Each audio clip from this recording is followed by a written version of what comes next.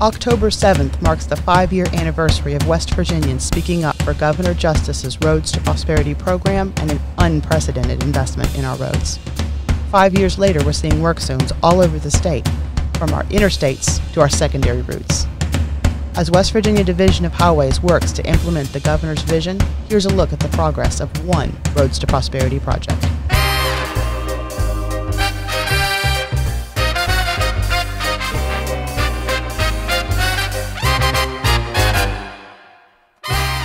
Every morning and every evening the, the traffic backs up because of the commute.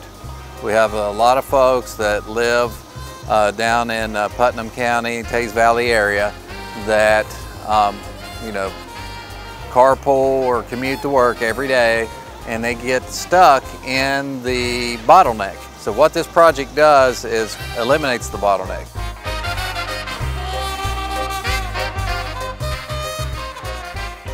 For us, I think the Roads to Prosperity has been a game changer. It's one of the greatest things that's happened to the Highway Department since I've been employed here for 28 years.